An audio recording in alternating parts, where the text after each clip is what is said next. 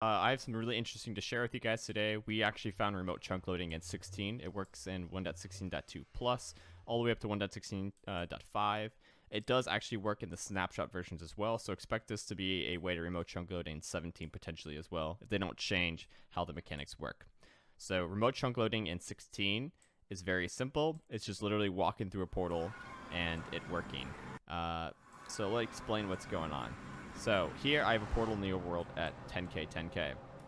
So I'm going to teleport to the same location as I am now into the nether. So I'm going to teleport here. Here I have a minecart uh, in a command block in it that tells me it's loading 10k, 10k in the nether.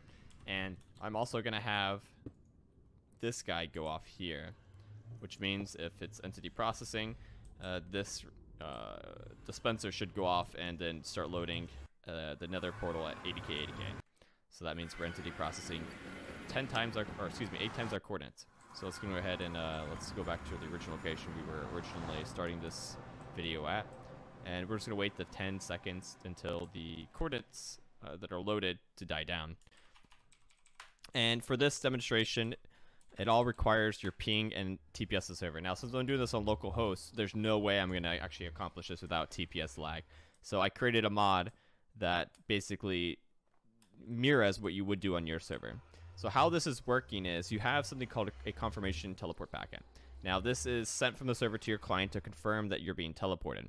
Now if the client never sends a packet back for confirming it, then the server kind of doesn't know what to do with you. It keeps you in two different locations. It gives you the same coordinate you teleported through a dimension, as well as the coordinate you should be at. So if I went through this portal, it should uh, load, uh, you know, 10k divided by 8. Uh, but it actually loads 10k divided by 8 and 10k, 10k in the nether. So what I'm going to do is I'm going to activate F3 and B, which just activates my mod, and it basically delays the confirmation teleport packet. So I'm going to simply just walk through this portal. As you're seeing, we're loading 80, 80k, 80k in the nether, and 10k, 10k in the overworld. Oh, excuse me, uh, 80k, 80k in the overworld, 10k, 10k in the nether. So I'm going to disable my mod, F3 and B, a chorus fruit, and yeah, so it's very simple to get entity processing chunks from far away now. It's uh, simple as walking through a portal and having, uh, you know, bad ping or TPS lag. It, it's literally it. I, unfortunately, I wish there was an easier way, um, as this has to be done by a player. It cannot be done by an entity. Only a player entity is the uh, only way to do this. Anyway, so I'm going to demonstrate this live on the SciCraft test server, so I'll meet you guys over there.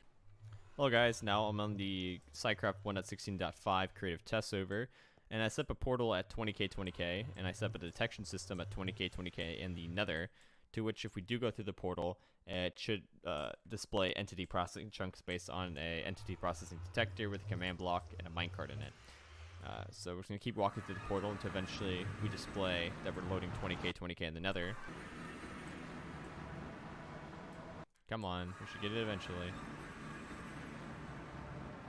There we go. Yeah, as you can see, we got entity processing chunks at 20k, 20k, excuse at 200k in the nether. So that means we are entity processing. That means we can multiply our coordinates that we got in the overworld by 8. So if we really wanted to, we could build a portal at 20k, 20k, have an item go through, and now we're loading at 160k, 160k. So basically, if you have high MS and, and high TPS, uh, you can get remote chunk loading done more efficiently and easier. Uh, it's all about sending the confirmation packet. So if you can delay the confirmation packet for teleporting, then you can remote chunk load uh, your render distance at another location.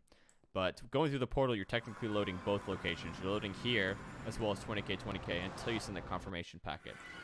Uh, and just showing you, uh, using my mod I made, just pressing F3 and B just to hijack the same command, I should be able to entity process in seconds uh, using my mod. It's just delaying the confirmation packet. As you can see, easily entity process, disable it, eat a chorus fruit, and you are back to normal. So yeah, I'm gonna put the mod in the description just in case your server isn't laggy enough or you don't want to lag your server. If you still want entity process, uh, then yeah, you have that option. And it also does work in the opposite direction, like I said before. But yeah, anyways, hope you guys enjoy.